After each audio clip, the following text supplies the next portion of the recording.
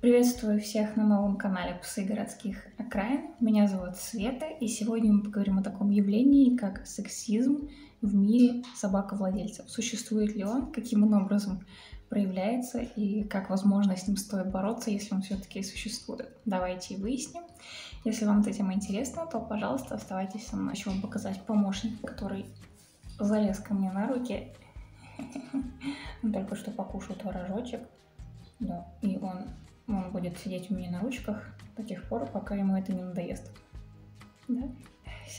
Но ну, сегодня я хочу поднять такую тему, как собачий сексизм, но он, конечно же, ведется не в отношении собак, но в отношении женщин-собачниц. И начать я хочу с очень забавной, интересной истории, которая заставила меня задуматься, и после нее я уже стала замечать такие моменты непосредственно в свой адрес. А у девушки она проживает в большом городе, в квартире, то ли в Москве, то ли в Химках, я сейчас уже точно не вспомню. У нее две больших таких серьезных собаки. Это южноафриканский бурбуль и стаффордширский терьер. Обе собаки исключительно воспитанные, и сама хозяйка прекрасно понимает, кого она называла, насколько серьезных собак, и она выгуливает своих животных только на поводке. А, естественно, в наморднике и отпускает их там побегать или снимает намордник только ну, в лесных массивах, в парках, где никого-никого нету. А, соответственно, даже у самого бурбуля на нем всегда надет обычный ошейник, удавка, а также строгач. Потому что если вдруг возникнет какая-то непредвиденная ситуация, и под словом «непредвиденная ситуация» я имею в виду, например, к вашей серьезной собаке, которая обладает достаточно серьезным охранным инстинктом, подбегает какая-нибудь а, не очень понятливая собачка с явной зооагрессией и бросается без поводка на вашего булпуля. Соответственно, в такие минуты, чтобы удержать собаку, да, вы пристегиваете ее на строгач. Ну, то есть это вот такая крайняя мера, когда реальное использование строгача, оно может быть оправдано. В остальных случаях, ну, лично, по моему мнению, носить строгач на повседневной основе это не слишком гуманно по отношению к животному, но все-таки. И в чем же заключается сама история? Эта девушка очень часто, практически, ну, конечно, не каждый день, но таких случаев на ее памяти было очень и очень много, когда она гуляет со своими двумя собаками, очень многие мужчины и женщины, ну, скажем так, недоверчиво на нее косятся, и спрашивают, типа, а вы точно их удержите, вы точно с ними справитесь, а вы их воспитываете, там, почему собака там, без намордника или что-то еще. В общем, к ней постоянно вот так вот относятся очень недоверчиво, потому что не доверяют ей, вот как женщине, владельце двух серьезных собак. И при этом никогда не было ни одного инцидента, чтобы ее животные вели себя как-то агрессивно и невоспитанно а, по отношению к другим животным. Соответственно, а, у нее также есть муж. И когда на прогулку выходит муж с этими двумя серьезными собаками, ну вы уже, наверное, предвидите дальнейший исход, а, он возвращается домой в прекрасном настроении. Он улыбается, потому что люди вокруг ну, просто восхищаются. Он какой мужчина, какие у него серьезные, воспитанные, замечательные собаки какой он прям, ну, не какой-то там у него маленькая декоративная собака, не знаю, его бабушки или его детей, и он с понурым видом ее выгуливает, вот такие классные, серьезные собаки и мужчины, в общем, сплошные комплименты, а, сплошные вопросы про породу и так далее.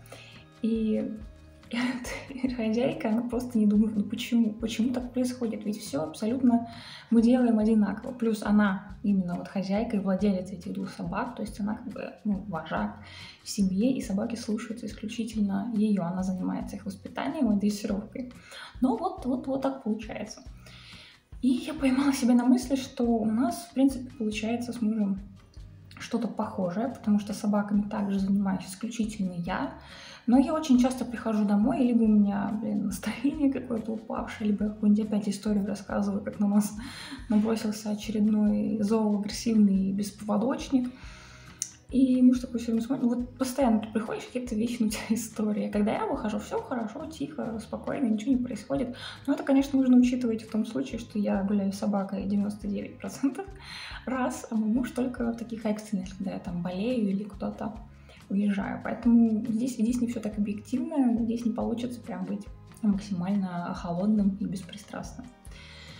Еще такой интересный момент. Кто конкретно проявляет вот этот вот а, сексизм в кавычках по отношению к женщинам-собачникам. Вы можете подумать, что, ну, наверное, это мужчины-собачники. А, абсолютно и категорически нет. Более того, на моем опыте а, как раз такие собачники, ну, в большинстве своем, исключения, конечно, случаются, понимают друг друга. Ну, понимают. И даже владельцы и маленьких, и больших собак в той или иной степени находятся на одной волне. А, бывает всякое, у нас тоже здесь, у меня здесь был недавно инцидент, когда был какой-то мужчина с Чихуахуа, и я зашла на полянку, и они там тоже стояли, его собака была без поводка, мои собаки все строго на поводках, и он там закатил жуткую истерику с матом-перематом, что мы мешаем, простите, опорожнять кишечник его собаки. А, на мои оправдания в том, что ну, что у вас без подката бегает, в чем, в чем это, что ваша личная полянка, и нам нельзя здесь тоже побегать. Ну, в общем, ко мне закралась такая мысль, что он, ну, что-то у него с головой, что какой-то он психически нестабильный, потому что, знаете, по глазам, по глазам видно, и вот с такими людьми лучше не связываться, потому что он тебе вот сейчас матом-перематом на тебя, а другой день просто, не знаю, ножик тебе в спину вставит. Ну, в общем, очень странный человек. Но таких меньшинство, и таких инцидентов было очень мало. В основном, кто э, нарывается на конфликт, кто говорит тебе совершенно унизительные замечания, можно даже назвать это оскорблениями. Ну и, конечно же, это провокация. Это только провокации на эмоции. А, это не молодые люди, чаще всего это не молодые девушки, не женщины, это не приличные, ну, скажем так, приличные, даже не могу сказать образованные какого-то определенного класса люди. Ну, в общем, замечания вот такого оскорбительного характера чаще всего делают женщины, именно чаще женщины, где-то от 40 до 60 лет, достаточно скромно одетые и что интересно, вот уставший вид, уставший такой, за, за, замученный, скажем так. То есть видно, что в жизни у них не все хорошо, что они явно в жизни несчастны. И у них прям на лице написано, что вот, ну, знаете, просто вот поникшее такое лицо, опущенный уголки рта, и кажется, ну, вот, ну на ком же выместить свою злобу. То есть, э, когда вам, например, делают замечания абсолютно приличные люди, тактичные, вежливые, там, например, не знаю, идет какой-нибудь мужчина с ребенком, а вот у вас собака без поводка, и он там издали вам говорит, девушка, возьмите, пожалуйста, собаку на поводок, мой ребенок там боится собак. И в таком случае ты говоришь, да, сейчас, конечно же, извините, там, пожалуйста, и все. Никакого конфликта, ничего, и ты радуешься, боже мой, еще существуют в мире вежливые и тактичные люди, с, которым, с которыми тебе приходится все равно каждый день а, контактировать. И это просто подарок судьбы. Вот именно вежливые люди, которые не используют оскорбления, вот этот вот уничижительный тон в твоем отношении. И также и второй тип, второй тип, который лезет на конфликт постоянно, это мужчины. Это очень интересно, но можно описать, наверное, в двух словах, в двух таких описательных метафорах. Это первое быдло, и второе кажется, что они сидевшие. То есть такие люди, они могут быть даже немножко подвыпившие, у них тоже на лице написано, что они ищут конфликт, они ищут какую-то ответную эмоциональную реакцию. Зачем? Не знаю, ну просто скучно.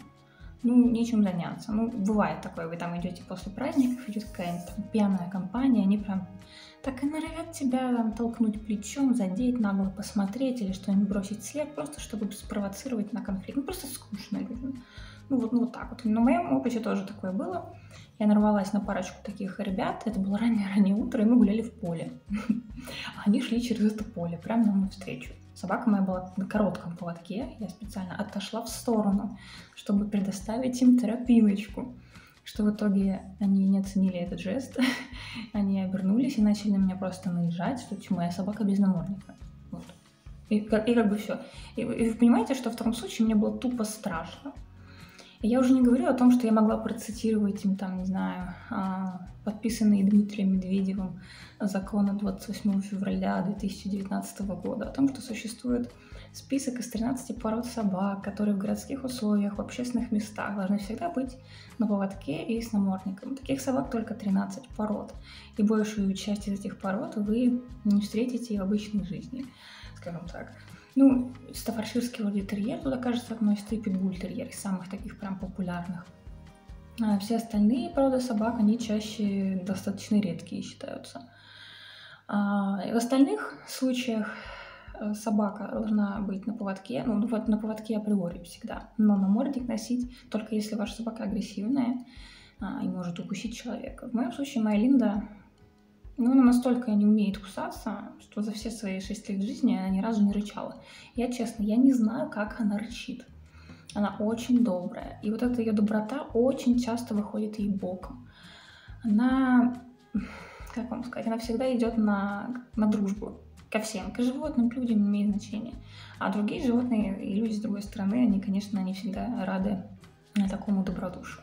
Это очень часто нас подводит. То есть говорить мне о том, что мне надо взять свою собаку там, на поводок, ладно, мы всегда ходим на поводке, но надеть намордник. И когда ты говоришь это оскорбительно, вот в таком тоне, и Стоит заметить, наверное, мне было обидно даже не то, что он мне это сказал, а то, что я девушка.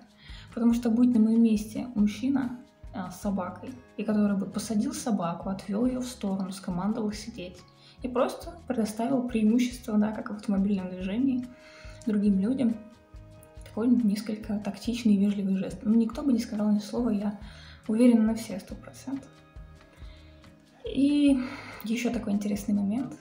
Эм, да, мои собаки, они абсолютно не конфликтные. Я всегда стараюсь быть, эм, как сказать, быть комфортной для социума. Это, наверное, как-то не очень звучит, но я всегда стараюсь, чтобы мои животные никогда не были проблемой для других людей. В первую очередь ради безопасности собственных собак.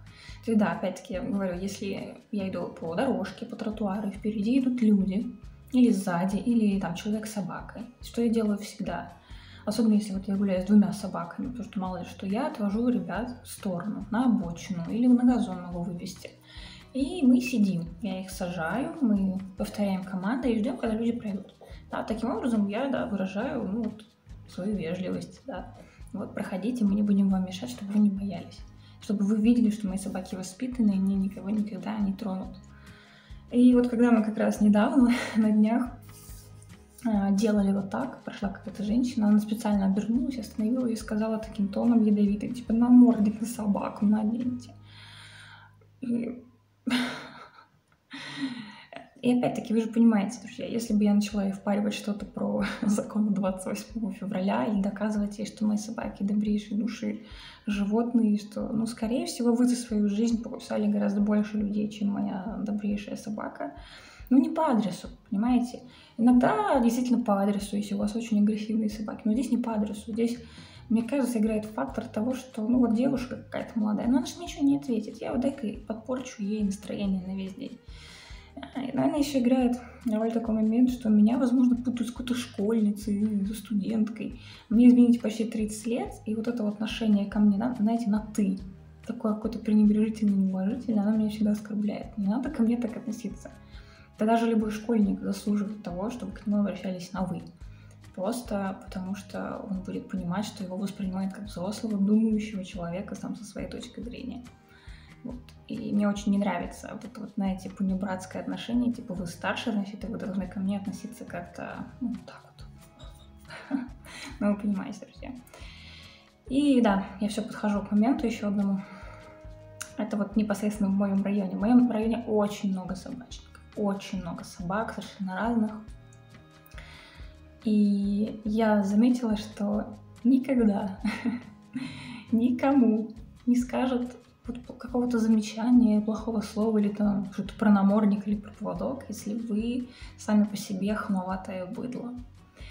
А, ну, например, у нас есть тут бабулька одна, у нее два шпица, она ходит всегда без поводка, ну всегда. Она достаточно подвижная, здоровая женщина.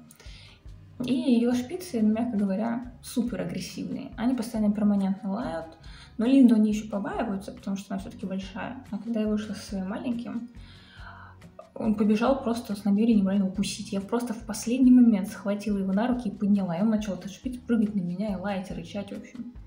А со стороны тетки ноль внимания. Она только смеялась и говорила, он тоже хочет на ручки. А извините, у меня трехмесячный щенок, и если он вдруг сильно напугается, испытает стресс, то он в будущем будет таким же агрессивным, как твой Беншпиц. Мне вот такие психические травмы для щенка, они просто сейчас неприемлемы. А, то же самое у нас была история, когда Я шла с Линдой, и была женщина через дорогу шла. У нее одна собака была на поводке, а вторая без поводка. Ну, аналогично. Она подбежала к нам через дорогу и начала агрессивно на нас просто нападать, щелкать зубами. Ну, тупо было страшно. Я сказала женщине, возьмите собаку на поводок. На что меня просто послали на три буквы. И собака продолжала вести себя вот так вот. Я ее отгоняла, там ногой кричала, фу, но ничего не помогало. Вот.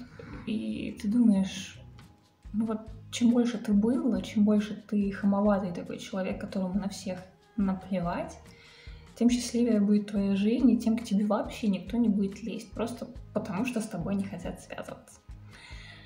Такое мое маленькое наблюдение, потому что вот бабка с этими двумя собаками, ну, никто не хочет с ней конфликтовать, никто не хочет с ней связываться, там пусть ее шприцы лают, пусть они там кусают, всех нападают, но никто не хочет связываться с человеком, у которого, который открывает рот, это оттуда словесный понос. Вот. А завершить свой ролик я хочу неким напутствием, в первую очередь для себя, потому что, конечно, мой здравый, разумный собачник и человек говорит мне о том, что не нужно обращать на это внимание. Да. Услышали, поддакнули или вообще ничего не ответили и пошли дальше. Это самый оптимальный вариант, потому что со многими людьми просто нельзя связываться, это себе, себе дороже. И второй способ, который я вывела для себя, если на вас реально наезжают, и вы знаете, что вы правы, и вы знаете закон, вы знаете свои права, вы не знаю, убираете за своими питомцами, они у вас воспитаны всегда на поводках, просто говорите, что вы звоните в полицию. И звоните и звоните, и вызывайте, и пусть приезжают сотрудники органов и уже выясняют, кто прав, кто должен носить намордник, а кто просто быдло. И в таком духе. Но это будет гораздо действеннее, если прям конфликт никак не может быть исчерпан. Но это только в том случае, если вы реально не нарушаете, если ваша собака на поводке, в полной амуниции, если она послушная, если она не обладает ярко выраженной зооагрессией, и в том числе и в отношении людей. Вот. Мои животные абсолютно такие, я гуляю с ними на улице, и каждый раз, когда выхожу на прогулку, думаю, ну, хоть бы в этот раз нас никто не видел. На самом деле такой момент еще, еще раз, в заключение, в самое последнее заключение, что когда я жила не в большом городе, не в Москве, в Подмосковье, вот в Костроме, вот таких инцидентов было просто минимум, минимум. А, ну, по пальцам просто одной-двух рук пересчитать. А когда я приехала сюда, в большой город, то просто на каждый квадратный метр очень много всяких неприятных инцидентов. И одно дело, да, ты забыл и пошел, другое дело, что все равно ты уходишь утром с таким приподнятым настроением, гуляешь с песиками. И тут что-то такое происходит, у тебя просто настроение может испортиться на весь день, даже если ты никак не отреагировал на какие-то обидные слова. И я сейчас не говорю о том, что я какая-то обиженка, и меня оскорбляют то, что меня считают некомпетентной, там, слишком молодой собачницей и так далее. Просто, да, это большой город, это социум. И если вы заводите собаку, если вы там женщина, ну, нужно быть как минимум морально к этому готовы и, наверное, все-таки уметь за себя постоять, да, либо уметь посмотреть сквозь человека и просто пойти дальше, не обращать внимание на все это. Поэтому, друзья, подводя вывод, я хочу сказать, что сексизм в отношении женщин-собачниц, по моему скромному мнению, все-таки существует. Бороться с ним невозможно, но можно выработать себе некий такой иммунитет, знать закон, знать свои права и обязательно воспитывать своих животных. Потому что если вы живете в городе, вы вынуждены вращаться в обществе, ваша собака никогда не должна быть проблемой других людей собачников. Поэтому это уже как минимум такая мотивация, чтобы ваш пес в большом городе не доставлял никому дискомфорта и проблем. Все, друзья, на этом я заканчиваю свой ролик. В свою очередь, я хотела бы спросить у вас, были ли на вашем опыте какие-то подобные возможные истории? А, и поделитесь ими в комментариях, просто оставляйте любые комментарии внизу, это всегда приятно, это всегда обратная связь. Не забывайте подписываться на мои соцсети, на мой инстаграм, а также на мой авторский блог о животных, который называется точно так же, как и этот канал «Псы городских экранов».